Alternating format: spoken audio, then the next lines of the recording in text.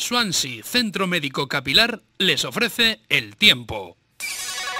Nos lo cuenta ya como cada viernes José Calvo de Meteosojuela. José, ¿qué tal? Buenas tardes. Buenas tardes, Carlos, ¿qué tal? Bueno, ¿bajan las temperaturas o no?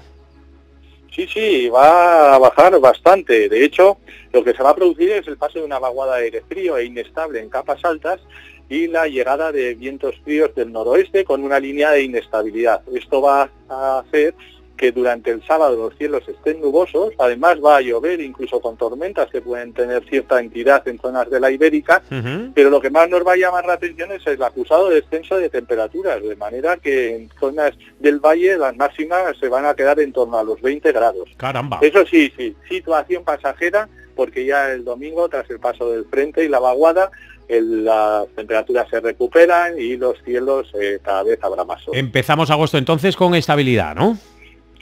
Pues no tanto, no tanto. La vamos a empezar con tiempo variable, pero con temperaturas más acordes a esta época del año. Bueno, pues más sobre el tiempo en meteosojuela.es. José Calvo, como siempre ha sido un placer. Muchísimas gracias. Buen fin de semana. Hasta la semana que viene. Te mando un abrazo. Chao.